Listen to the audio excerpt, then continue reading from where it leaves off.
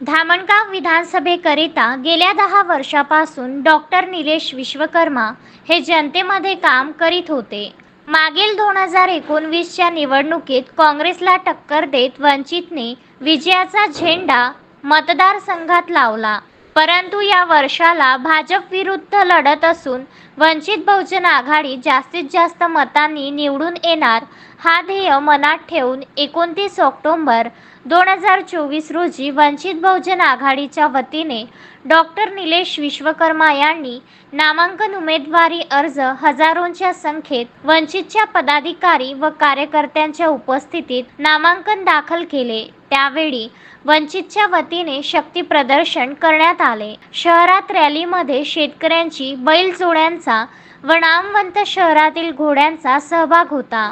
त्याच प्रकारे डॉक्टर निलेश विश्वकर्मा हे सर्वांचा आशीर्वाद घेऊन मतदानाच्या रिंगणात उतरले असल्याचे त्यांनी विदर्भ न्यूजच्या माध्यमातून सांगितले. Piyush Thombre Vidarbha news Chandur railway.